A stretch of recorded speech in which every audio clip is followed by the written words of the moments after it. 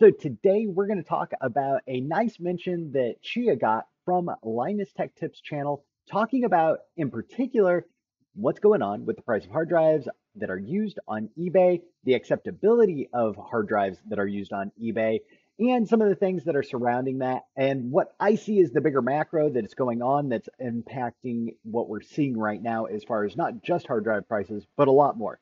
Let's dive in. So yesterday, Chia got a nice mention from the Linus Tech Tips channel, and thank you for talking about used drives, the value proposition of used drives, and the safety protections that people get on eBay, and some of the things that people should be looking for if they're buying used drives.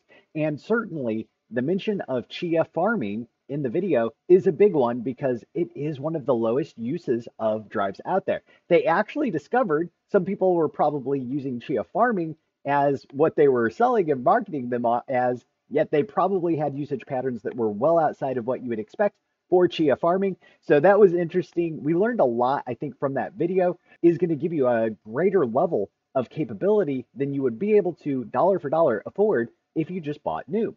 Now, there are some things that you want to be on the lookout for. My take on that coming really quick. So we did have Bram chime in here. This is Bram Cohen, founder and creator of Chia and he was talking about the video and uh, some of the things that were talked about in it.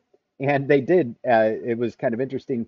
Bust that some of the people were saying there were Chia drives because Chia is a very low IOPS usage of a hard drive. I thought that was good. Uh, poor investor actually chimed in and he said, "You mean the fact that they didn't mention farming once?" But they actually did mention farming in the video, and Bram did point that out. Uh, they had it written down below. They said farming, not mining at one point in the video. But uh, you know, if you were just listening along, maybe you didn't catch that at the same time.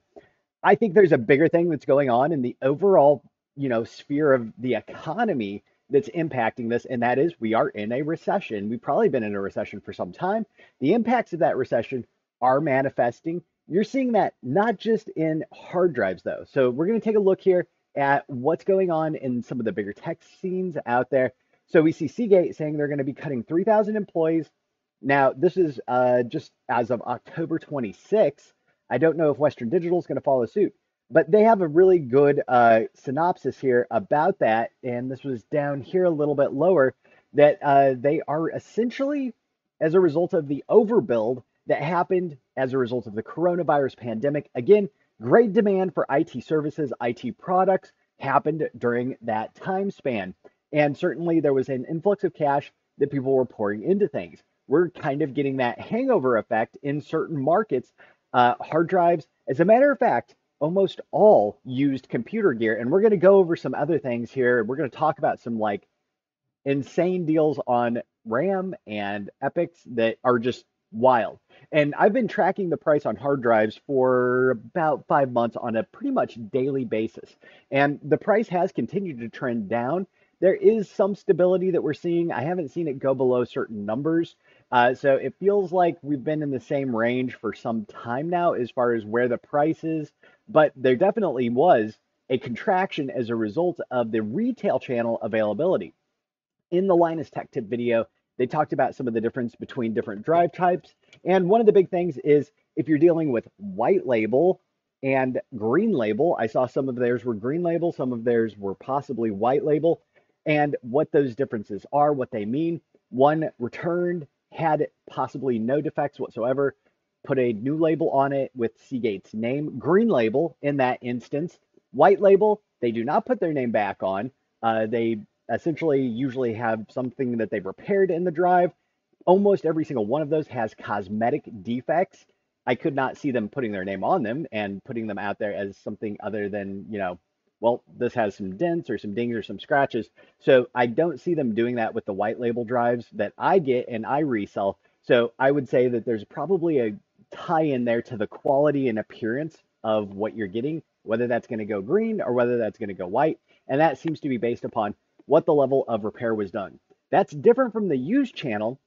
Now they fin- they did mention some Toshibas in there.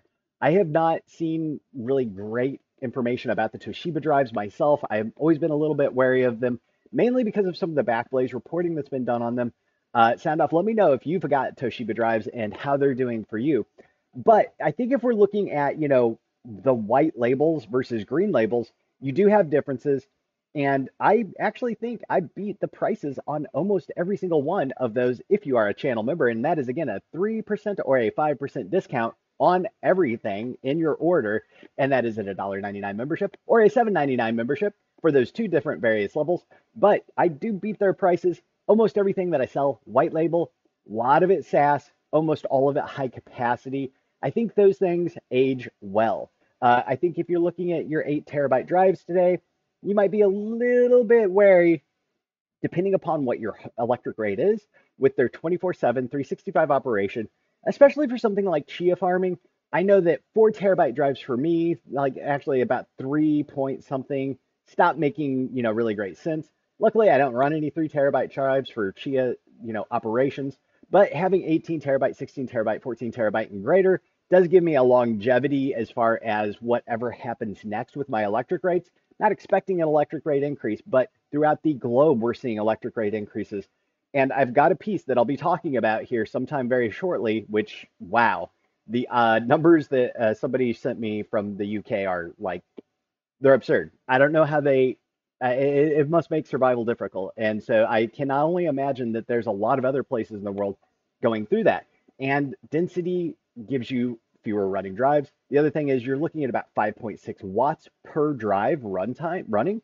So the more terabytes you cram on there, the more efficient it's going to be to actually run a higher density drive. From what I read on the specs, usually about 5.6 watts all the way up to 18 terabytes seems to be kind of the norm. Now, let's take a look at what's actually happening, in my opinion, and why you're seeing not just cheap drives. You're seeing like the prices fall on AMD EPYCs these are really good processors. And there's some people in my uh, Discord that have been watching along with what's going on with AMD EPYCs like hawks. Uh, and so they might appreciate this piece. Uh, but the price on AMD EPYCs, even over the past one month, since I was checking some prices, I went back, checked some of the Discord chats about it, have dropped precipitously. So we are seeing some like really great chips that are just coming down in price like amazing. Like this 7B12, this was like 14, 1300 just a month ago. Now it's at 850. So I mean, that is a cheap crazy price. It's not just hard drives is where I'm going with this. It is the broader ecosphere. Look at the 7542, 760 bucks for this now. I mean, these are good chips. These are in demand chips. I mean, even the 7501, 32 cores, like no vendor lock, 389. There's really good deals that can be had. Links in the description below to these exact items if you're interested in them. I thought these were just crazy prices. Not just that, DDR4. So DDR4 prices at good speeds, 2400 ECC. Price $197. That's for 64 gigabyte DIMMs. Two 64 gigabyte DIMMs for $197. Like that price has come down tremendously from where it was. 2400, of course, being a little bit more desirable than 2133. So if you're going to be up by DDR4, might as well go for that extra speed bump. And you get that with a pretty cheap price point. You haven't seen these prices in my viewing of what's been going on for ever. Like I haven't seen the price of DDR4 this low ever. DDR3 absolutely at incredibly cheap prices. As a matter of fact, I'm going to have to knock my prices down on the DDR3 that I've got still because I, I don't think it's going to move any other way. And so I think that is what's going on in the wider sphere. You look at tech right now, a lot of pressure. We got Twitter laying off people. A lot of other companies have followed along with that and they're laying off people. As I showed you, 3,000 people at Seagate. I don't know what's going on at Western Digital. I can say that there's a lot of pressure right now in the IT sphere resulting from the contraction in the economy. And so that is just to be expected. I think we're going to see this trend continue at least for another six months, possibly, hopefully, not much longer. I think the look back period when they actually revise the numbers, which they seem to usually revise the numbers, could show that we've been in a recession for a while already, also.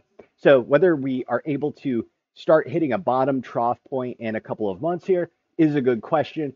Sound off. Let me know what your thoughts are on that and what you are doing to prepare for that. I know myself, I am trying to conserve my operating running costs as much as possible by having systems that can come on and off. I'm doing that by being really intelligent about my Proxmox setup as well because I don't want all of the things to have to be on for quorum. And there's a way to do that. And I am going to show you guys in the next Proxmox series that we have done or that we will be doing. And if you haven't caught up to speed on some of the Proxmox stuff I've done in the past, there is a playlist in the links below that has a bunch of videos on how to set up a high availability cluster in Proxmox with shared storage. We're going to be doing some really cool stuff though. We're going to actually use TrueNAS to create storage and Proxmox will be using that storage among its clusters.